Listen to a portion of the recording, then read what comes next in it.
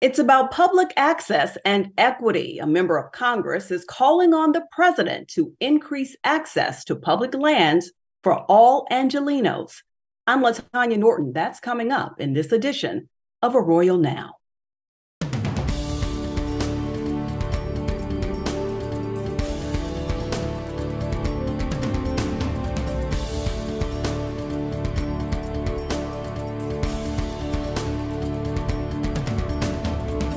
Now, I've been working for over 20 years on bringing resources to the San Gabriel Mountains. So you can imagine how thrilled I am to be here today to celebrate the reintroduction of our legislation and to officially announce our community's new campaign to permanently protect these mountains. That was a clip of Congresswoman Judy Chu recently at a press conference at Eaton Canyon Park announcing an effort to expand the San Gabriel Mountains uh, to all Angelenos. Hello, and thank you for joining us for another edition of Arroyo Now. I'm your host, LaTonya Norton, and joining us to discuss this effort, we have the Congresswoman herself, Judy Chu, representing the 28th Congressional District. Thank you so much for being here. And we also have with us Daniel Rossman, who is the California Deputy Director of the Wilderness Society. Thank you both for being here to talk about this effort. We'll start with you, Congresswoman. Tell us about the Public Lands Act and what it does for us.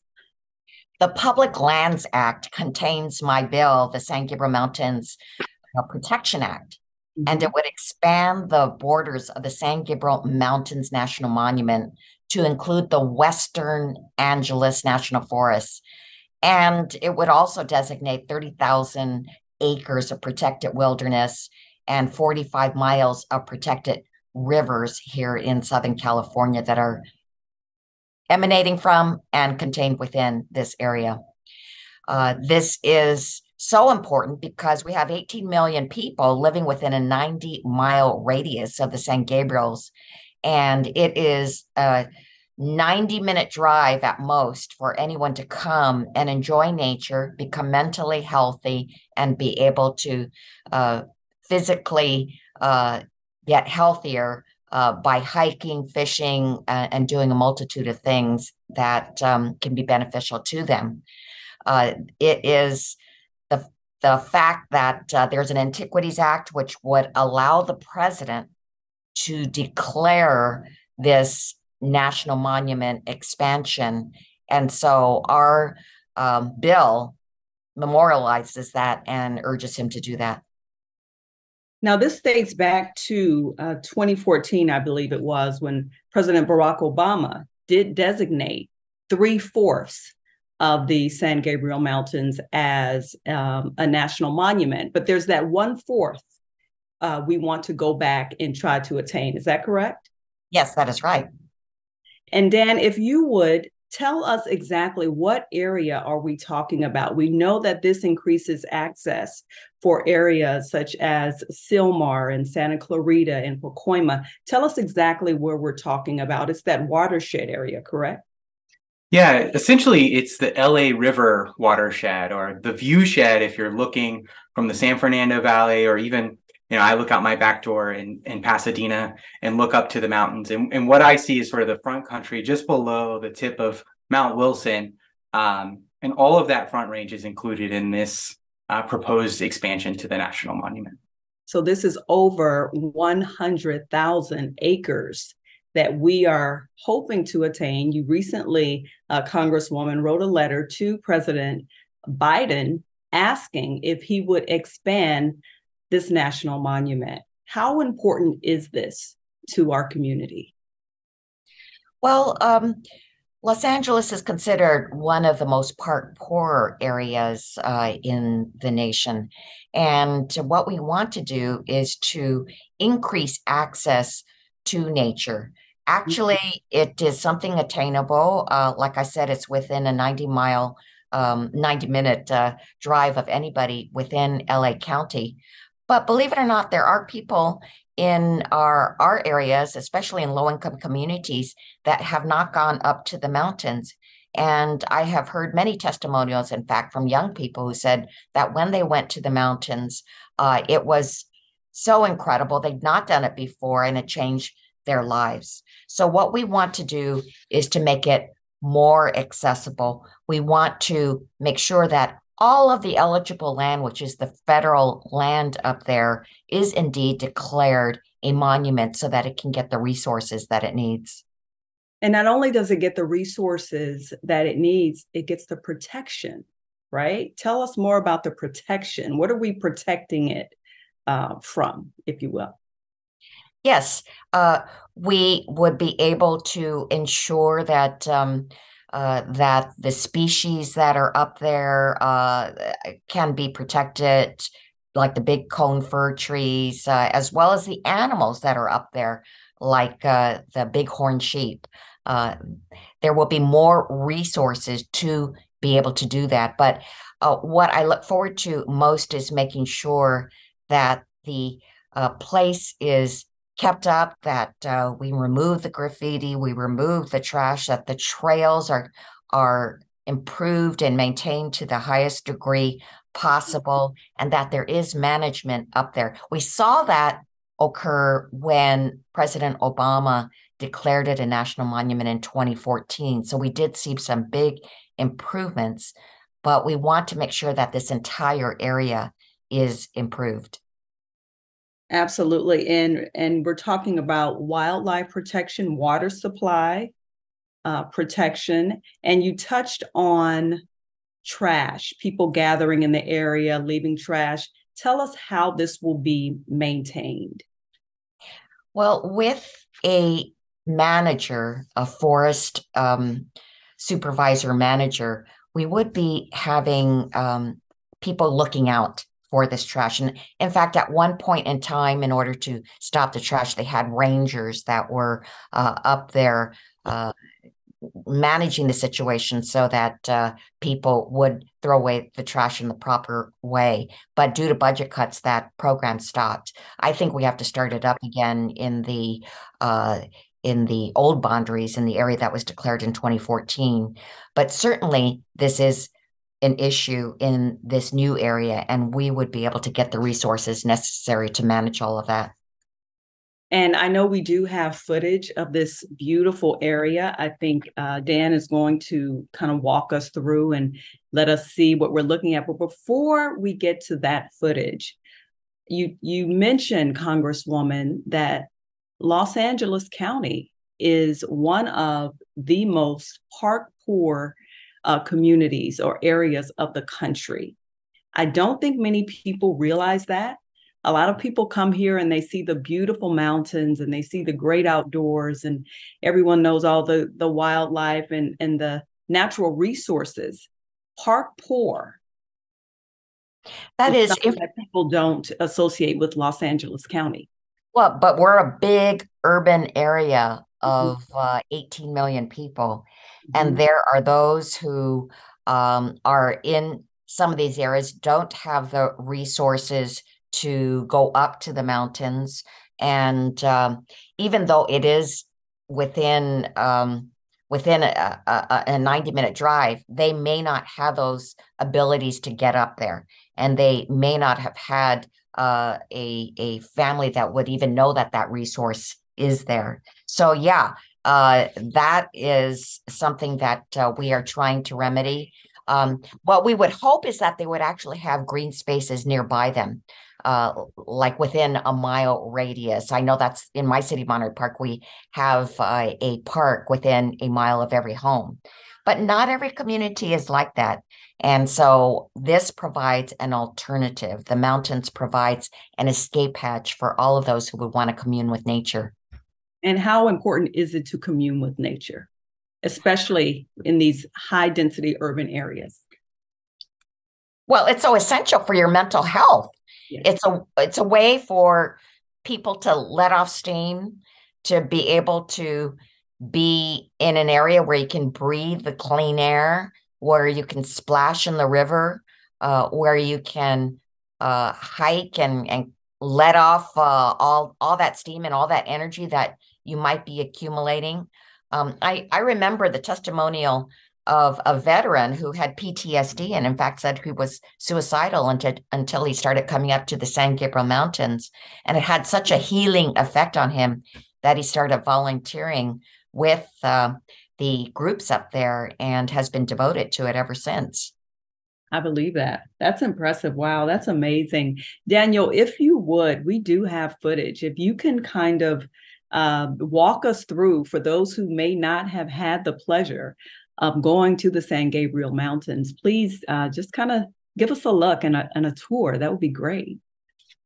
Yeah, the San Gabriels are an incredible place to to visit with beautiful nature, uh, rushing waterfalls. And in this expansion area, you can see a couple of really well known waterfalls like Switzer Falls that many people hike up to, that um, cascade down the rocks. Um, one of my favorite places is along Trail Canyon Trail. You get to a, a, a very large um, waterfall uh, and enjoy views of chaparral, this sort of thick brush that grows along the hillsides. Uh, this place is famous during the great hiking area atop Mount Lowe. Um, people historically, we used to have a, a, funicular that took people up to the top of the, the mountain, and you can actually see remnants of those old gears and um, this sort of idea that we're reconnecting people uh, to the mountains with some transit to trail efforts, some of those that have been funded by Congresswoman Judy Chu's community partner grants. Um, this is really we're seeing this sort of re-emergence of what was called the Great Hiking Area in the early 1900s. Uh, we're seeing people, particularly after the pandemic, really getting out and enjoying these places like the Mount Lowe Summit. Um, really appreciating the fact that a third of the county's drinking water comes off the Angeles National Forest. So along the Arroyo Seco River or um, the the the watershed that drains into the LA River um, is really critical for providing clean drinking water for our communities. Wow, I love it. Congresswoman, tell us about the Transit to Trail program, which is essentially connecting people to nature who may not have access. Well, thank you for allowing me to talk about it. Yeah, uh, you know, we have far too many cars up there in the San Gabriel Mountains. And one way to decrease the amount of cars that go up there is to have this transit to trails program. But what is even more exciting is somebody that would not otherwise have access could just go on our metro lines like the Gold Line, which uh, has a station here in Pasadena. And they could just go from the Gold Line to this transit to trails program, uh, which would have five stops along the San Gabriel Mountains route and ending at the Mount Wilson Observatory, which uh, has all these programs um, that uh, would be very exciting for people to experience it. So um, I provided uh, 1.75 million uh, through community project funding from the federal government to get this program going. And I hope that it can be a permanent program. Absolutely. Wow, this is great. And so I know that with this effort, you teamed up with Senator Padilla um, for this. How did this partnership come about? It is always great to have a Senate version of whatever bill you have because then there is a greater chance for success. And mm-hmm. I started with uh, Senator, then Senator Kamala Harris, uh, who was very enthusiastic about this. But when Senator Padilla was appointed in her place, he just embraced it, and he's he's embraced it wholeheartedly. Um, uh, so yeah, we have been partners in this whole process. Uh, we started with uh, a bill on a developing this area as a national recreation area, which would put it under the Park Service.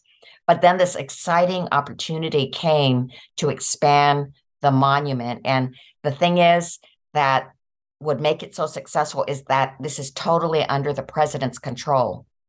We don't have to go through the process of votes through Congress. Because of the Antiquities Act, uh, President Biden can do it all himself. And it is important to note that President Biden did pledge that uh, to have 30% of land and waterways protected by 2030. Yes. He wants to make sure that we protect the beautiful natural resources of this country. And so, yeah, he's been steadily declaring these uh, monuments. And uh, we just really hope that he will do this one and that he himself can come. That it would be so exciting to see him right here in these mountains, enjoying what we know is such a national treasure. Absolutely. And the president also wants to ensure that the community uh, is supportive of this, right? That's right. Um, he wants to make sure that uh, the community is uh, enthusiastic about this. So that's why we have embarked on uh, a, a, project of, of going to all the important stakeholders and making sure that they send letters uh, saying that this is exactly what they want. We already know that this is what they want because there's been um, for a couple of decades studies on what um, they want with the San Gabriel Mountains. They want more resources up there. And the first time the study was done, 12,000 people submitted comments about wanting more resources. So we know that that um, uh, many are uh, wanting to get more resources uh, and even more attention paid to these mountains. So um, we've gotten uh, resolutions most recently by the LA County Board of Supervisors and then by the City of Pasadena and, and numerous other entities. And for the most part, there has been an overwhelmingly an overwhelming amount of support, but there has been some pushback, right, Daniel? I, you know, it's one of the things that is uh, surprising. There's there's really not a lot of pushback. I expected that there would be some sort of ideological resistance. Um, you know, sometimes people, you know, just are a little wary. But I think once you take the time to explain, these are already lands that are owned by the federal government, and this is really just ensuring that the direction for managing those places are such that preserve them for recreational opportunity, for water quality, for species protection for future generations. And so um, there's been very little uh, organized opposition to speak of. Yeah, that's great to hear. And I know that back at that time in 2014, uh, when this area was designated uh, by President Barack Obama, he did say that it's not enough to have this place protected, but this is an issue of environmental justice. People need to be able to access these lands your reaction to that comment, Congresswoman. Yes, absolutely. I was so glad that he was uh, so adamant about the protection of these lands for the people of this area. And let me just say a little bit more about what happened in 2014 versus now. In 2014, there were some people who were naysayers, and these were those who were afraid of what it would mean to have this declared a national monument uh, they said, oh, they'll seize your land, they'll uh, prevent you from hiking and fishing, um, and uh, uh that uh, they'll they'll close down certain things that you enjoy right now. Well, all of that turned out not to be true. Mm-hmm. And in fact, we started a community collaborative of all the stakeholders, uh, even those who were naysayers at first. And this community collaborative has been incredible. Um, they have worked together so well that uh, now they the ones that were naysayers are our supporters. So this time around, it has been so much better because uh, everybody could see that um, disaster did not happen. And in fact, the opposite occurred, which is that we did get more resources for the mountains. And what will change with these additional resources? Well, um, you need management. You need people who will um, direct the volunteers, who will direct the certain projects that need to be done, and um, uh, and in fact, I was just uh, talking to uh, people up there. You know, there are discretionary funds uh, in the Forest Service, and and they were just uh, directing someone to do some trail improvements uh, up by my next question. Yeah, Crystal Park, uh, Crystal Lake, I should say, um, and uh, they uh, and in fact, they are embarking on on this uh, improvement up there. Uh, oh, and of the visitor center up by Crystal Lake. So, um, yeah, that that is the thing. There needs to be people who can manage the area, and that's what this monument designation has given us. Absolutely. And so, with the recent rains, this act will insist in trail restoration. Absolutely. And um, in fact, uh, we will be able to get better protection for the maintenance of mm. these areas. Uh, and in fact, with the infrastructure bill, uh, I am very proud to say that we will have better protection against potential wildfires as well. There's uh, a billion dollars there for that kind of uh, maintenance and protection. And also, uh, there is a problem with uh, pay of of uh, firefight our federal firefighters. So it, there's an improvement in terms of the pay for them. And then there's a wilderness uh, firefighting committee that is to oversee the efforts to protect our lands from wildfires. And when you talk about the San Gabriel Mountains, and I know Congresswoman, your time is precious. You don't, we don't have you for the full hour, um, but I do want to get this in. This is about future generations. As we speak, there aren't plans that we know of that consist of mining or construction or that sort of thing. But we want to make sure that as the administrations change or as time goes on, that this area is protected for future generations and expanded. Yes.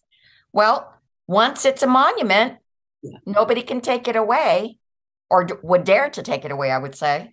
Uh, and in fact, once it's a m- monument, then it gets on a national map of monuments. There are those that, that I run into who say they have just made it their bucket list to go to every monument that there is in America.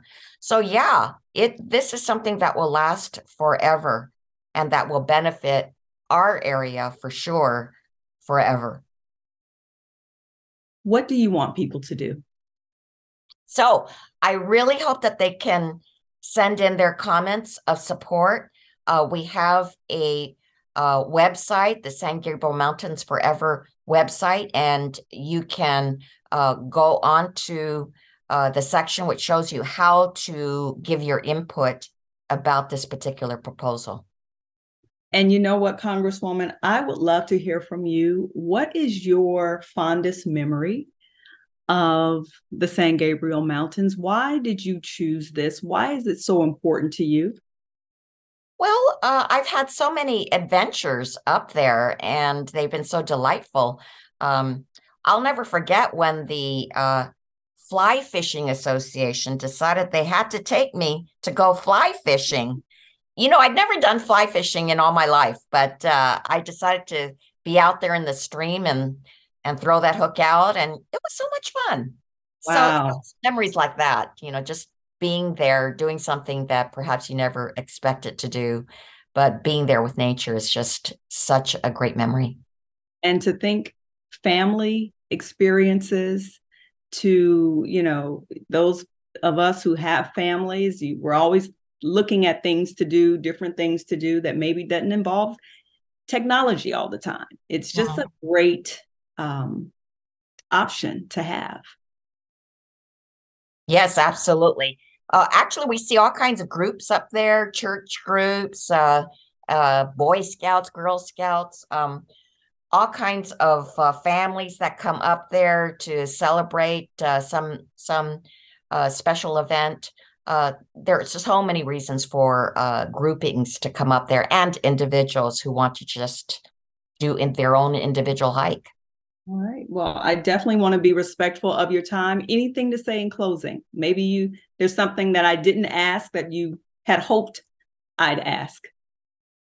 Well, I would just uh, urge you to go on to the San Gabriel Mountains Forever site.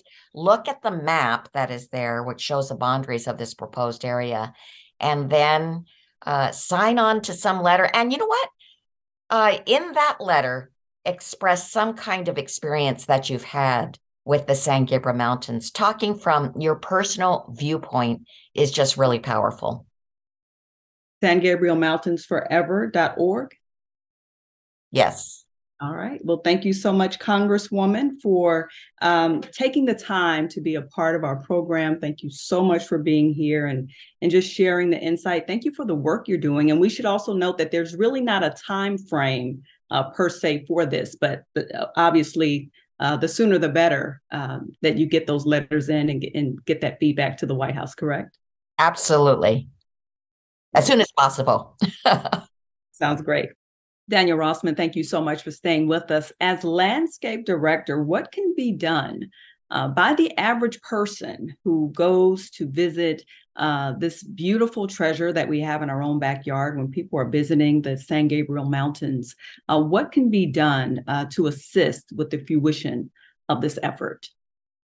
The Congresswoman had it exactly right adding your voice to the call to protect this area is critically important. The Biden administration you know has a many many competing priorities and the more we can demonstrate that there's this groundswell of local support the better our chances of getting on that very competitive agenda uh, and getting this this place designated uh, for future generations. So uh, partners like nature for all have helped establish a website where folks can go.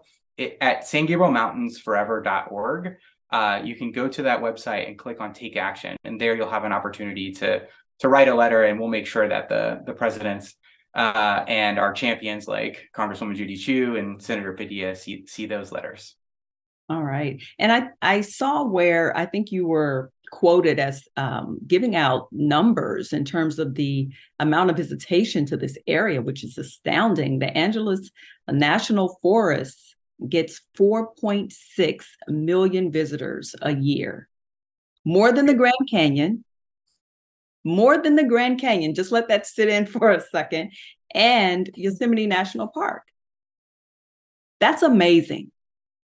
it, is really incredible. The the Forest Service recently redid its um, survey uh, looking at those visitation numbers, and for those of us who um, have the opportunity to to visit those places um, often, it's it's not too much of a surprise for for why so many people are enjoying the opportunity to get there. I think some of those numbers have increased because of COVID across the country. We've seen people really appreciate the opportunity to get outside, get in nature, and have that rejuvenating effect. And I think that those numbers will continue to to remain high with so many people living so close to uh, what is our, our urban backyard. It's it's just an incredible opportunity to escape. And I often think about it like the closet in Narnia. You just sort of go through the first you know half mile of uh, road and all of a sudden you're you're back in remote nature and it's very hard to believe that there are so many people uh, just a short drive away and when you talk about the 4.6 million people a year that are already visiting. This is before we increase the access. Well, I think what's important to think about is how do we ensure that access is equitable so that all people have the opportunity. So it's not necessarily about just increasing the raw numbers, but there's also this really great education opportunity. When you think about something like transit to trails, you've got an audience captive on a bus. Let's play some videos and educating people about how to leave no trace, um, ensuring that people understand the value of these places so that um, we're not only thinking about how do we um, you know increase access for communities that don't have it but ensuring that that access comes along with education interpretation so that our visitors are respecting and, and giving reverence to this place that um, has, has been here since time immemorial Absolutely. And, you know, I can't help but think about the beauty of the San Gabriel Mountains and the, you know, increasing this access, what it will do to millions of Angelenos. Just tell me a little bit more about that. You know, I think one I've I've been uh, with the Wilderness Society for for 15 years now, and and working uh, to protect the San Gabriels as well as other places in Southern California. But um, for me, you know, I think about that first experience one, with my son on paternity leave. I had him on the that backpack, carrying him around, and uh, just exploring nature. We went uh, up Eaton Canyon many, many days, and I remember one one moment where uh, we spotted a woodpecker and we were observing the woodpecker, and just a couple days later, someone had uh, come to my house and, and knocked on the door, and he heard that knock, knock, knock, knock, knock. He goes, "Pecker." and so there's kind of connections that happen in uh, a young kid's life that are that are so amazing. And I've had the opportunity to go out um, with uh, immigrant communities who feel reconnected to you know the mountains that they visited in their home of Durango, Mexico, or people that are you know a little bit nervous on that start of that hike. You know they're they're worried about bears and they start to loosen up, and then you see their faces just explode with joy um, as they, you know, leap across a stream or, you know, find the cool shade of a oak tree. And, you know, it's those experiences that at an individual level are so transformational. Um, it's so important for groups like uh, the Wilderness Society, the Sierra Club, um, many others who are involved in uh, supporting this effort to really ensure that people have that place to connect to nature because we need advocates for nature. And the best advocate for nature is that experience, getting out there and really, um, you know, feeling the the soil beneath your feet, smelling the the pines that are, uh, you know, dotting the landscape in the northern slopes of the San Gabriels, uh, feeling the the sun at your back as you summit a peak. All of those experiences are so transformational that they really create advocates for nature for for the rest of their lives. Wow. You mentioned that this has been a 15 year journey for you. That's a long time. yeah. But you haven't given up. Why? Yeah, it is. Why? I mean, I know it's so important, but how has this journey been for you? So, I mean, on a, a personal level, I feel incredibly privileged to do yeah. this work. Um, I really uh, cherish those moments where I get to go out on a hike and, and show people this incredible place that we're working to protect. Uh, that's when I, I get to do the job that my mom thinks that I do when I say I work for the Wilderness Society. It's m- more often a conference call or you know doing yeah. work to um, educate people or get get support for the effort. Um, but the other really rewarding thing is that I get to work with so many people who are uh, so passionate about protecting this place. I mentioned uh, Nature for All, a nonprofit that's really grown out of this effort. It started as a coalition to protect the San Gabriels and has formed its own 501c3 nonprofit and is doing work to champion further protections, but also connecting people to nature and advocating for things like transited trails. Um, groups uh, like the Council of Mexican Federation that work with immigrant communities around LA County and Southern California who are bringing people to the mountains to experience nature for the first time. Uh, the uh, API uh, API Forward Movement, engaging uh, Asian American communities or groups like um, uh, CalWild or the Sierra Club that are traditional conservation groups.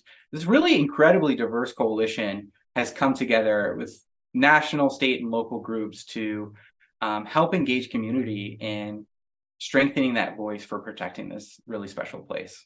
And it's also about environmental education too, because not only are you increasing access uh, to these areas, I love the um, you know the efforts to do that, but you know it education, uh, letting people know you know exactly where they are, what's around them, why it's important. Um, that that goes a long way. Yeah, it's it's really uh, not only important, but one of the most effective tools we have at um, addressing some of those challenges, like like trash or graffiti. Um, one program that I'm excited about relaunching uh, is done in partnership now with the Forest Service, but also the National Forest Foundation, Hispanic Access Foundation have teamed up uh, to hire uh, young uh, people to go out and engage people in some of the most visited places in the forest. And we've seen that these programs that you know have people go out you know not in a, a, a uniform and a badge can sometimes be intimidating for for visitors but you know just a, a, a polo shirt and a smile and talking to people about hey um, you know you may not know this but there's a fish called the Santa Ana sucker that swims in the East Fork of the San Gabriel River. It's really important that we don't leave any trash or dam the river because uh, that can change the flow of water and really impact this uh, endangered species. Or um, letting people know about, you know, how long does trash take to decompose, or even some simple things like how to use the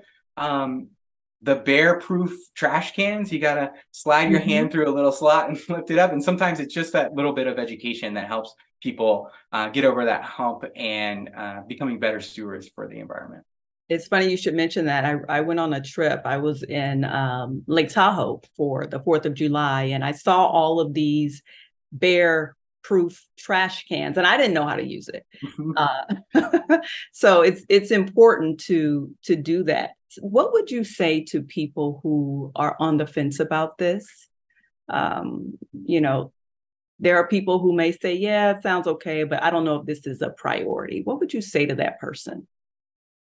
You know, I, I would say that uh, first of all, if you haven't been up there, let me like take you up there and see it because that's the best way to to know this is a place worth protecting. Um, the two two big things that I think are really important to think about. One is just the um, the effort to ensure that the place is protected for future generations uh, is an international one. Scientists say that we need to protect 30% of lands and waters by the year 2030 to ensure that the worst impacts of climate change don't result in a mass species extinction. And the Southern California mountains are part of uh, the California floristic province, one of the most biologically diverse regions in the world. Um, and so it's critically important that we protect this place to ensure, you know, there's no new gravel mining or any kind of extractive use that that happens there. And this designation uh, would ensure that. The second piece is is one that will take a, a longer time horizon. It's a, it's the audacity to think you know, not just a couple years ahead, but 5, 10, 50 years into the future. Over time, uh, with monument designations, we have seen increased resources um, to do things like manage for recreation, um, ensuring that people have that ed- education and uh, that the recreation is sustainable for future generations, which is so important for LA County, where, you know, 70% of the county's open space is in the Angeles National Forest. And so we need all the effort we can. Um, even even just a, a, a little notch up is an incredible uh, benefit to millions of people. Seventy percent. Yeah, that's right. Um, you know, would love to see a world in which that number changes because we're building more and more parks in urban communities, particularly. Um, and there are efforts like Measure A to to try to create more park space um, in communities in the, the in urban uh, neighborhoods and park poor communities in particular, but it's never going to be less than the overwhelming majority of the open space for our county. And so ensuring that people have a sustainable way to to recreate in those mountains is really important. What is the biggest misnomer when it comes to uh, this effort to expand the monument? I think um, it admittedly gets a little bit wonky when you start thinking about okay there's some different levels of government here and there's different uh, bills and actions by the president. So just to walk through that again um, right now this area is part of the angeles national forest. So it is federally owned and managed by the u.s forest service. Right. Monument status is an additional layer of protection for for federal lands that ensure no new mining and a focus on management as described in the, the monument proclamation, particularly to protect the objects uh, that are defined uh, in the in the actual act itself. So there's been an effort to expand this monument through legislation that would require uh, both the House and Senate to take action and the signature of the president. Uh, this call on the president to use the Antiquities Act is actually authority that was given to the president in the early 1900s. Um, the Antiquities Act said, okay, there are some places that are so important to protect that we don't want to wait for the slow turn of Congress. We want to give the president the ability to protect it right away. Uh, and so um, having seen legislation, you know, move through the House and actually pass the House on on multiple occasions, but not make it through the Senate, and just that sort of hustle of uh, Congress, uh, particularly in the modern era, uh, is is something we don't want to wait for. We want to ensure that the president can take action today and preserve these areas for future generations. And so, with his authority under the Antiquities Act, we're calling on President Biden to expand the national monument by those additional 109,000 acres. Let's talk a little bit about wildfires or things of that sort. Is there a provision for tree replacement, foliage? Yeah, so the a couple of things that are important to know about fire management. One is um, this this monument designation would not prohibit in any kind of uh, management activities for uh, you know fighting fires, particularly in the case of emergency.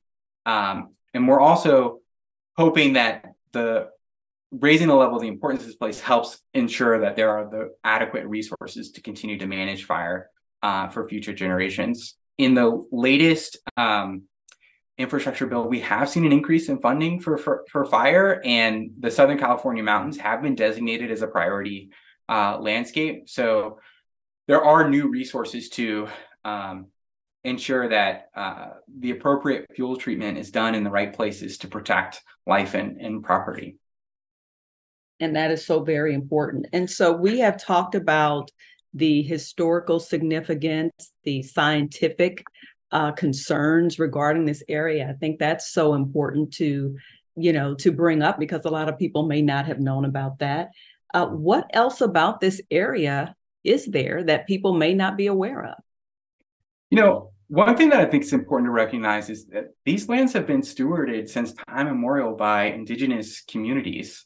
Um, the uh, Gabrielino, Tongva, Kizh peoples, Tataviam, many indigenous communities really, in particular, this monument expansion was uh, a network of trade routes for Native American peoples who, um, you know, called many of these places home um, used trails like the Gabrielino Trail, which goes through the heart of the monument expansion, um, to connect and trade with other tribes of the region. Uh, and so this this act would also direct resources to ensure that um, cultural artifacts are preserved um, for future generations, and we want to ensure that you know even today continued cultural um, uses like maybe harvesting um, acorns that are endemic to Southern California or um, other species that are important um, are, are able to, to continue to be collected and harvested for, for cultural uses. Is it easier? I don't, I hate to use the word easier because I don't want to, you know, put that word out there, but do you think it's more likely that this expansion will take place uh, specifically because there's already been uh, a declaration, a designation, three fourths. Do you think that this last uh, 100,000 plus acres would be more likely to become um, part of this national monument?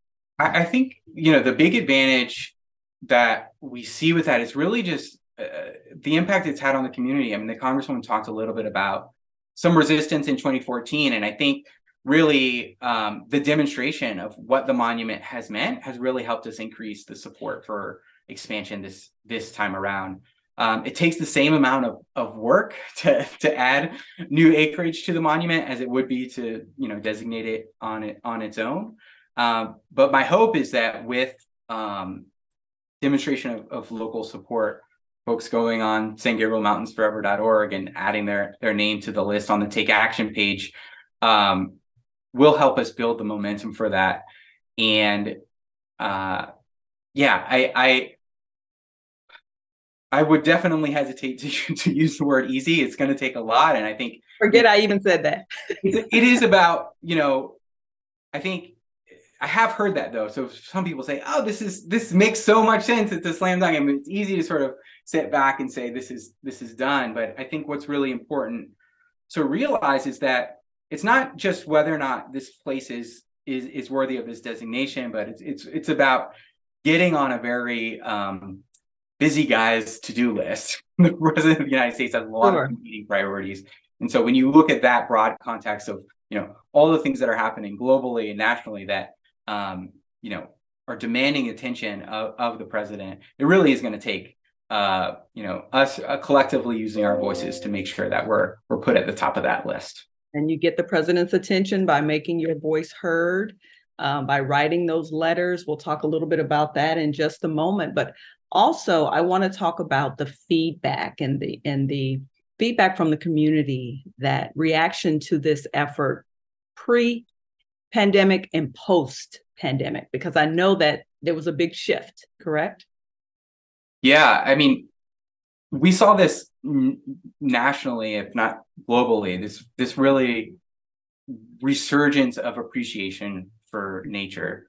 So many of us shared this experience of being stuck at home, not having uh, you know enough daylight, and we couldn't go many places. And the outdoors was one of the few places where we could go out safely. And in that experience, you know, like I said, being in nature is the best advocate for nature because so many people experienced or re-experienced this this opportunity to connect to nature. And I I truly believe that there's just something fundamentally human about that experience in nature. Um, the there are many authors who've written about um, the the benefits of nature uh, you know, going back to Richard Louv, who coined this term nature deficit disorder, uh, talking about the need to get particularly young people outdoors and uh, what that does for, for mental health, um, what it does for stress levels, for your ability to even concentrate. So these things that seem, you know, sometimes disconnected between, you know, this idea of just getting outside and playing, but it actually helps you concentrate more at work or on your homework. Um, the benefits are really um, many and and more and more research is coming out about um, those those health benefits and those mental health benefits of, of being in nature. And the covid pandemic i think made that not just a, a study uh, in some academic journal but a real personal experience for for millions of people. Being out in nature breathing in the fresh air seeing you know, just seeing nature, butterflies, or just whatever, hearing the birds. Um, it just makes a big difference. And it's something that we can take for granted. You drive by it all the time, you see the beautiful mountains, but stop, get out, explore, be safe, of course, hmm. but just take it all in.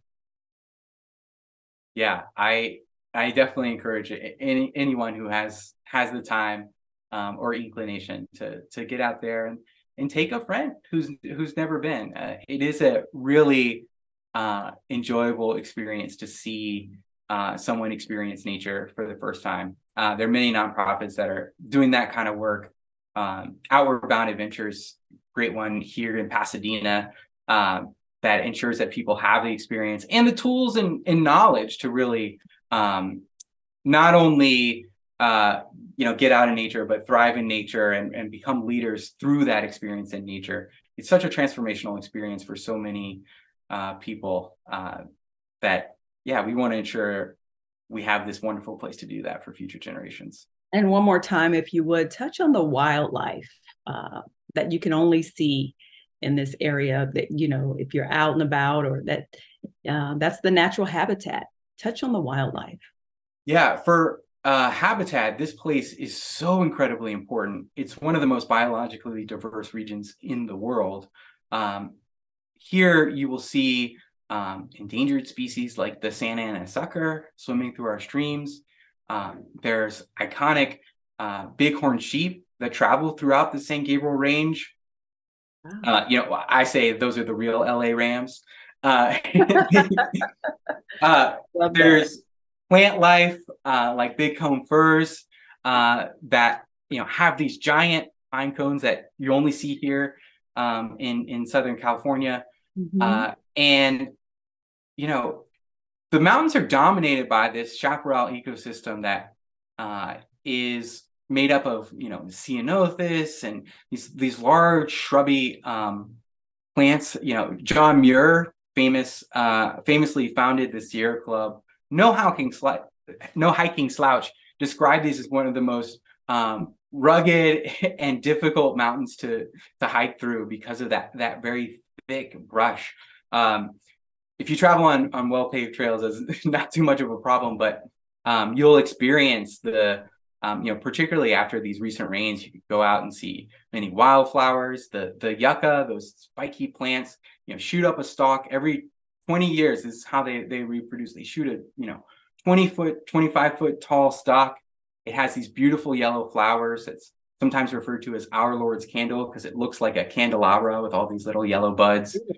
Um, and then uh, you you just get to experience these you know many wonderful smells of you know sage of uh, the the pine trees. Uh, it's it's a full sensory experience when you get out uh, in nature and get to see the the the birds, hear them chirping, um, or smell the smells, or you know hear the trickle of the water. That's amazing. And I I was looking in my notes. I thought I wrote it down, but I couldn't find it. But I, I think there's a certain kind of fox that's in the San Gabriels. I'm not sure, but I think I wrote it down and I can't find it. So don't worry about it. And I think there was a certain I read somewhere. But at any rate, there are it's just amazing what you'll see, what you'll discover. And uh, it's in our own backyard. It's a nat- it's a treasure that we need to protect. So before we leave, is there any closing words? We're going to let people know that what they need to do to get more information uh, and definitely get those letters in. But before before we let you go, any last comments about this? you know I, I would just encourage people to to join this this movement of groups like nature for all uh, the sierra club the wilderness society uh, we've we've got groups like active san gabriel valley uh, A- api forward movement um, council of mexican federations many other groups all coming together to advocate for the protection of this really important place. And you can join that effort by going to San Gabriel Mountains Forever.org. You can take action, uh, ensure that your voice is added to the call of folks asking President Biden to use his authority to expand the San Gabriel Mountains National Monument. San Gabriel Mountains Forever.org. Once again, San Gabriel Mountains Forever.org. Go on and let your voice be heard. Uh, Congresswoman Chu said to perhaps even share a personal experience that you've had uh, in this area. That's so important to pass along those memories, to share, to just let people know, let people in Washington know that this is uh, a treasure that I'd like to protect in my community. Thank you so much. Daniel Roth, he is the Deputy Director of the Wilderness Society. Thank you so much for being here and sharing this effort. Once again, an effort to expand the San Gabriel Mountains National Monument. And right now, the monument is 300,000. What's what's the number? It's approximately 349,000 acres, and this expansion would add another over 109,000 acres. Wow. All right. Sounds great. Daniel Rossman, thank you again for being here. Thank you so much for having me.